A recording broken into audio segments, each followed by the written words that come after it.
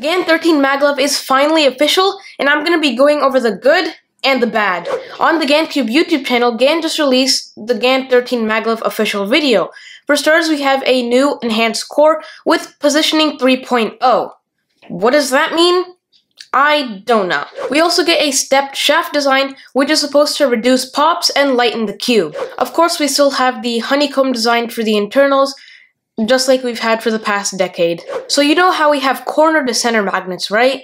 Well, for the GAN 13 maglev, we have edge to center magnets, which is supposed to give you 30 degree auto aligning.